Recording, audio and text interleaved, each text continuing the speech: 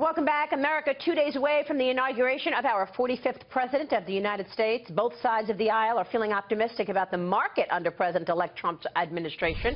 68% of investors anticipate strong returns in the next six months. Now, according to a new UBS Investor Watch report on the revived investor, joining us right now is the president of UBS Americas, Tom Naratil, is joining us in New York. Tom, it's good to see you. Thanks so much for being here. That's great to be here, Maria. So first, give us a sense of what investors are feeling right now. I mean, obviously, this market is up big time since Election Day, so you can figure it out that, that people must be happy about that. But what's behind it?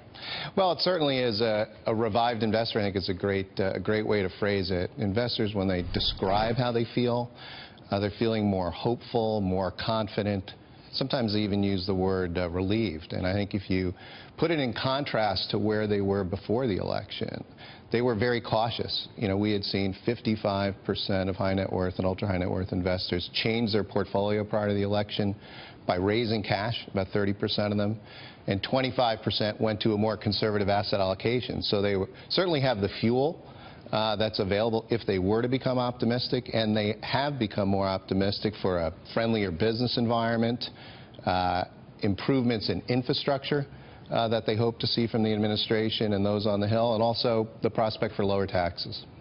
Well, that's the thing. I mean, uh, Donald Trump has talked a lot about his economic policies, and that is lowering taxes, uh, rolling back regulation. Do you think that that is going to move the needle in terms of its impact on economic growth?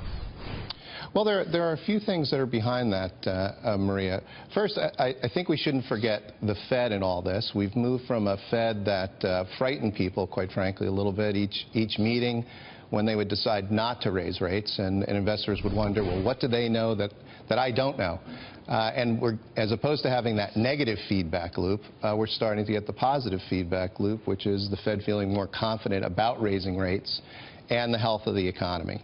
Uh, second, I also think that um, when you look at uh, business owners and a subsegment that we actually took a look at in, uh, in our most recent investor watch was to focus in on the business owner. And what you see is a huge amount of optimism there, certainly in the form of uh, investment and hiring. 41% of uh, business owners expect to invest more in their business uh, in, uh, in the next year.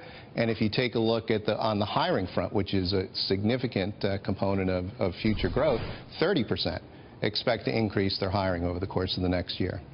Uh, so they're talking about more jobs, and that obviously is going to be positive for economic growth as well. Now, your UBS report is saying that investors' outlook has improved 50% since uh, Trump's uh, presidential victory, Tom. Tell us about that, and do you think people feel that, in fact, we are going to see more opportunities for people? Well, I think what's most interesting about that, that increase in uh, the optimism around the economy is also the fact that investors have positive outlooks for returns in the markets uh, to align with that economic growth.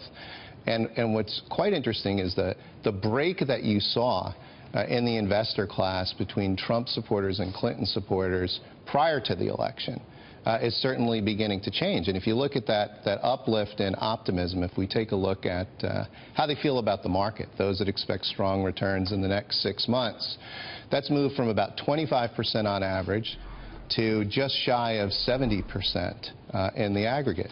But even if you look at Clinton supporters, where only 9% of them uh, were positive prior to the election, we're up to about 44 percent uh, at uh, at this point in time. So that's quite yeah. uh, quite encouraging. Wow. Yeah, I mean, I'm looking at the findings of this report, Tom. 33% uh, of the people are considering a major purchase, 30% considering taking cash off the sidelines, 41% of small business owners plan to invest more in their business, 30% of small business owners plan to increase hiring. Let me ask you this, Tom. We've already seen a fair amount of uh, gains in this market. Are we at a point now where it's a show-me market? We need to see actual evidence that tax reform is going to take place in the first 100 days and that the rolling back of will take place. What are you telling your clients in terms of putting money into the market today after the move we've seen? So as, as, I mentioned, some of those moves that you saw from investors prior to the election certainly put them in a position where they drifted away uh, from where they should be on a strategic asset allocation perspective. So they're effectively short. And the fact that 55% of investors are actively looking for investment opportunities tells you that to the extent that we see a pullback in the market, which is certainly at some point uh, inevitable, there is cash available uh, that, uh, that we see investors putting to work. Uh, but, I, but I think you, you made a good point, Maria, about is this a show me market? And uh, if we focus in specifically on what business owners said, uh, it absolutely is. They have a, a very demanding list for the incoming administration and for those on Capitol Hill in the first 100 days. They want to see reductions on health care costs. They want to see increased infrastructure investments. They want to see progress on reducing regulation, lowering taxes, and most importantly, I think the, the message to those in D.C. is they want to see an easing of government gridlock. Uh, inaction is not something that's going to make them feel more optimistic. So, so just to be clear, real quick, Tom, based on what you see in your client base, are they more cautious right now or are they bullish? They are uh, optimistically bullish. However, if uh, if we go back to uh, to what we saw in the prior uh, eight years in the form of gridlock, uh, they could become disenchanted after those first hundred days. All right, so we're watching what happens uh, in terms of what gets passed. Tom, good to see you. Thanks so much. We appreciate your time. Great to be here, Maria. Thank you. Tom, Tom Naratil is the president of UBS Americas.